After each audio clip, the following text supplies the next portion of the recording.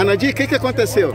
Não, no momento a gente estava assim, dentro de casa, né? Que meu marido que estava aqui, que ele foi em casa para pegar um dinheiro para vir para cá. No que ele desceu, estava descendo a escada, só escutamos o estrondo, né?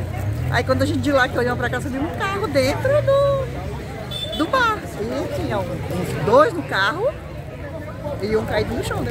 Por pouco, então seu marido não é atingido. Foi o livramento.